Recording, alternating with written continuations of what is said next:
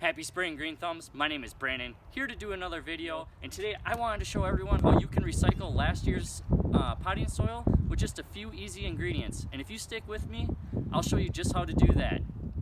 All right, we're here today on the very first beautiful warm day of spring and we are gonna get planting. And I figured there is a ton of other people that will be planting too in their containers. And what better way than to recycle last year's spent potting soil just so you can save a few bucks. Let's get to it. So last year I grew in this container a uh, large tomato plant. I'm gonna take down about three to four inches. As you can see, it's already down a few inches, so I actually only have to scrape off a couple inches, and I'm gonna use that soil for a different container.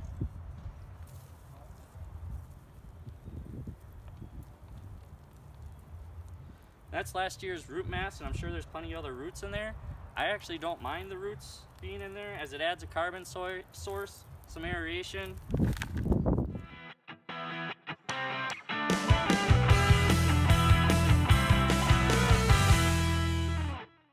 can see, we're about four or five inches deep on this container. So now we're gonna lay in some amendments and then top dress with some compost and we'll be good to go. So you can see a lot of the old roots are still in here. Uh, if you look close enough, you can see, maybe not.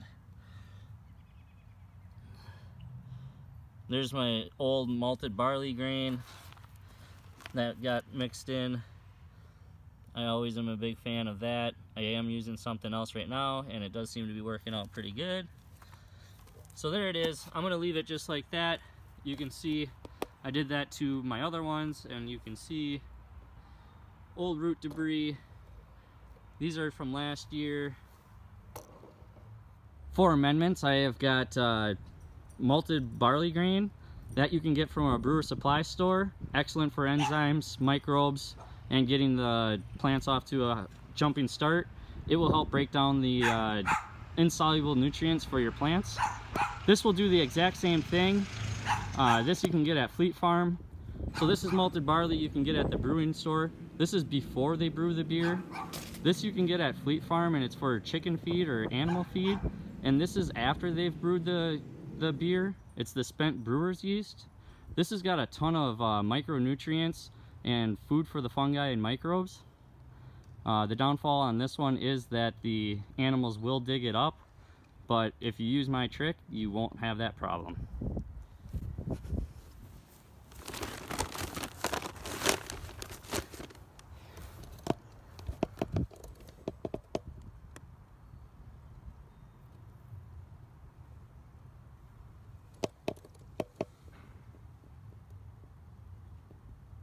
And as you can see, it is chocked full of nutrients, vitamins, amino acids. So you don't need to use both of them, but I would choose one. So it's totally up to you.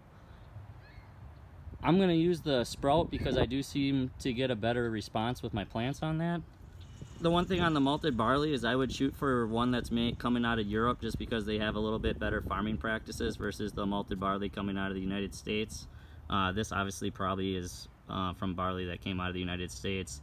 So horse a piece, but I still find better uh, response out of this. The next option is you're going to need a calcium uh, source basically to balance out the soil and to provide a transport for the nutrients. I like to use crustacean meal because you do get an NPK value out of that, which is roughly like uh, 5, 4, and less than 1 basically on the potassium side. But that's a dual purpose, so I like to use the crustacean meal. Last but least, we need a potassium source.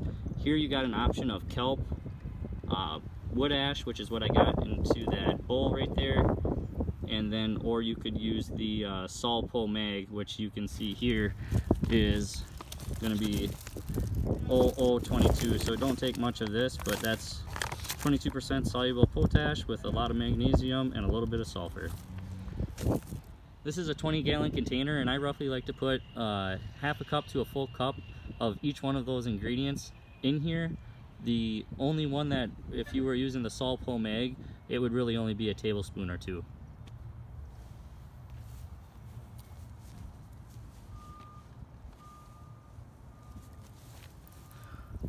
A handful roughly is a quarter cup.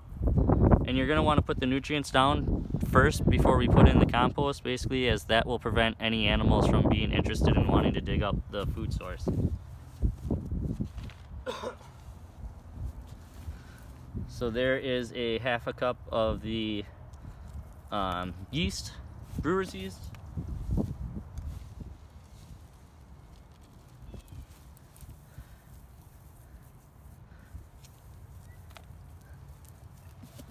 That was a half cup of the crustacean meal.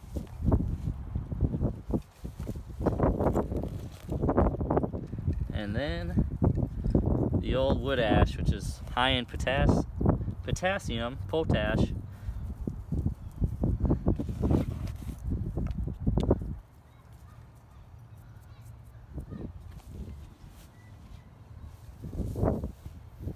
So there that is. So there it all is. You want to mix it up just a little bit. Not a big deal.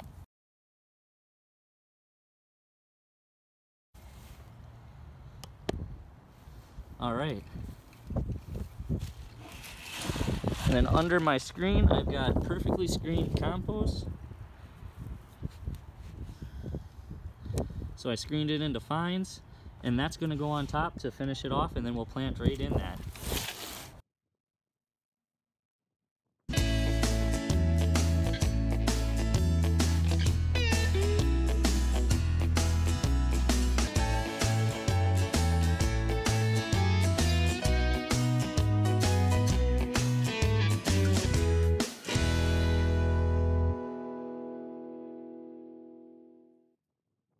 All right, now we're topped off with as much compost as I want.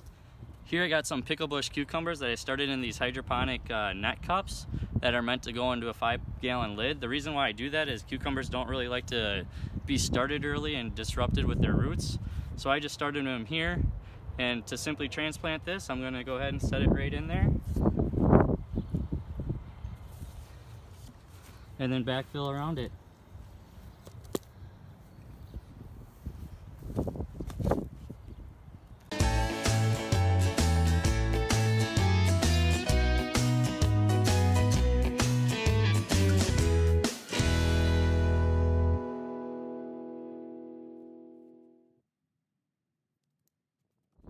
So that's how easy it can be, folks. Just a couple cups of fertilizer, and I guarantee you that I put less than $3 worth of nutrients back into here, and it's gonna get me a whole nother year of growing.